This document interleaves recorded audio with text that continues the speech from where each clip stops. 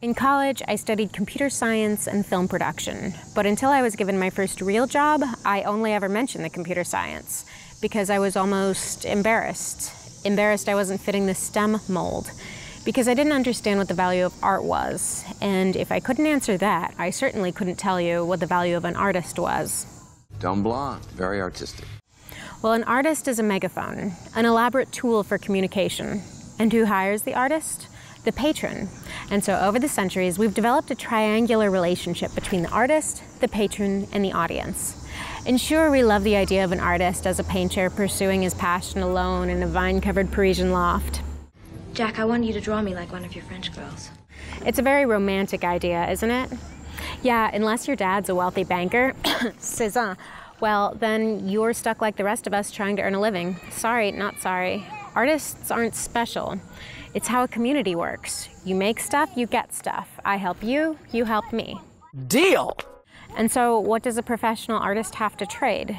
The pretentious answer is inspiration, insight, the universal truth. Imagination.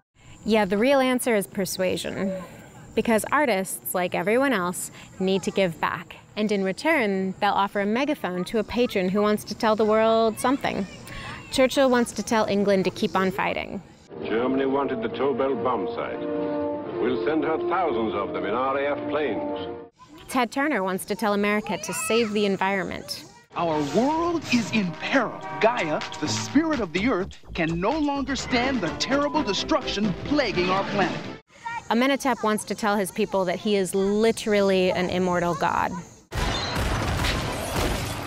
We are in serious trouble. And so there's been this triangular relationship between the professional artist, the patron, and the audience in one form or another since the dawn of tools. Because once a community has filled the lower rings of Maslow's hierarchy, they can spend extra resources on communication.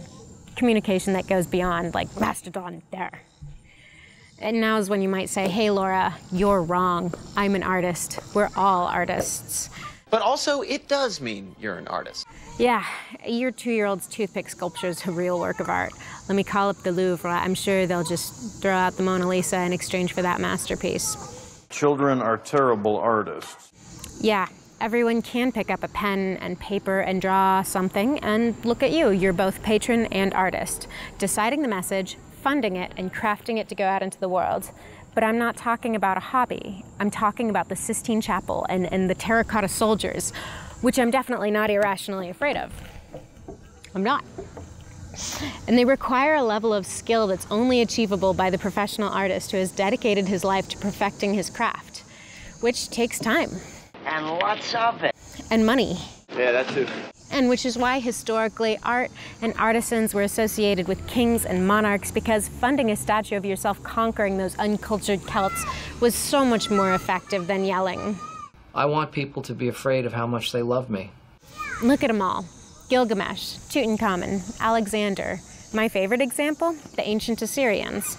And the ancient Assyrians were a thing for like 2,000 years and nobody messed with them because they had these carvings in their palaces.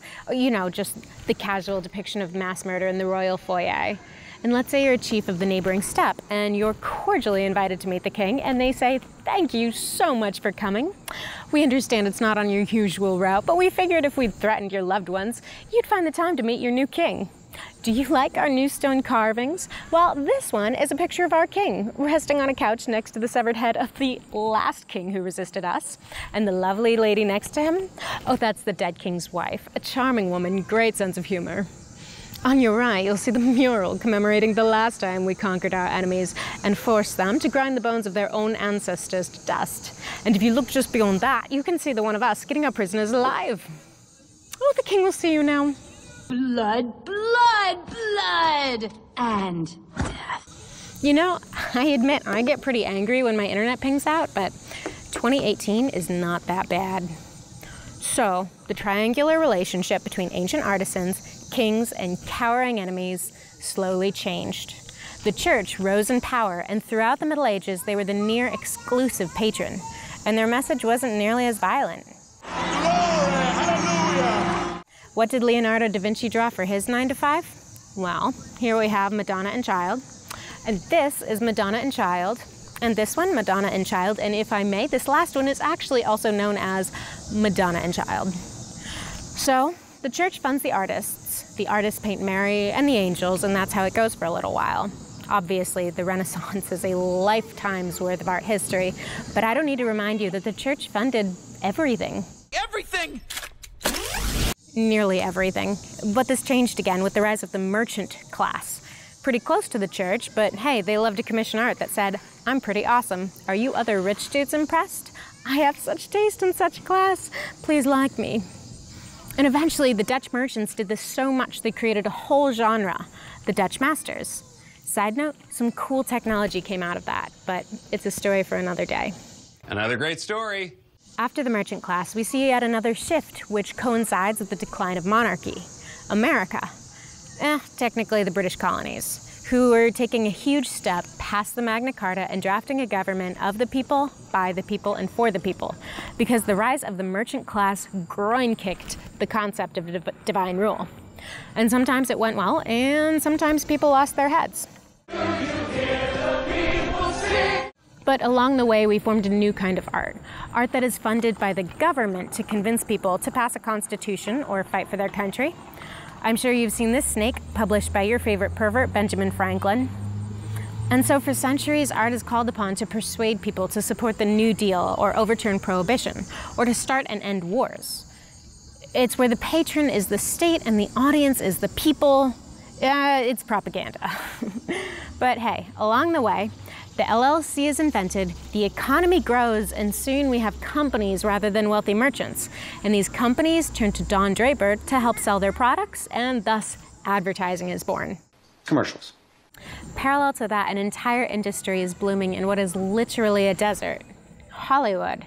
And it's an entirely new approach where the patron commissions are in order to charge admission on the back end and make a profit there.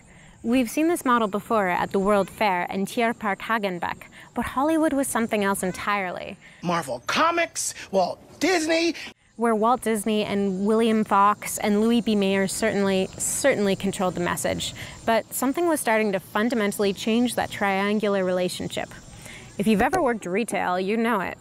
The customer is always right. Translating that, the company is always going to bend to the will of the customers, their patrons. And so between Mulholland Drive and Madison Avenue, we're starting to break the mold. It's a model where the patron and the audience are to some degree interchangeable. And that is what is really flipping cool about today. Because today, the internet is taking a jackhammer to the barriers between the artist and the audience, and you can yell at George R. R. Martin to finish Game of Thrones in a way that nobody could bother Mark Twain. And if you really want more episodes of a TV show like, say, Veronica Mars, then you can fund a Kickstarter or create a critical mass of people to bother Netflix until they buy the rights to reboot your childhood. Everything's getting a reboot now. Okay, this can get ugly sometimes. Have you heard of Mass Effect? It's a three game trilogy where you spend years building a team of warriors to save the known universe. The average player took over 75 hours to get to the end, where the developers promptly decided to nuke everything. Spoiler, people were upset. So I got angry and upset and hurt.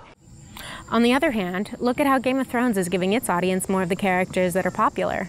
Lysa Mormont writes one letter in the books, but the audience loved her so much that we're getting so much more of her on the show.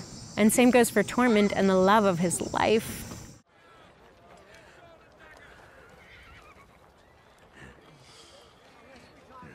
Plus, thanks to the internet, we can create totally new kinds of art. Like Lucas the Spider, a character created for YouTube whose creator just picked up $1.2 million, which he put towards a college fund for his nephew who voices the spider. Hi, not, my name's Lucas. And after like eight minutes of pseudo art history, you're probably wondering why. Why is Laura talking about this? Well, I love the idea of creators forming a direct relationship with their audience to share their process and to give you a peek into the worlds that I'm building and the stories that I am telling with Fish and Chips. And because the animated content, uh, well, it takes a ridiculous amount of time. And hey, someone might find this interesting. Since you're still watching, maybe that someone is you. My name is Laura. Thanks for watching.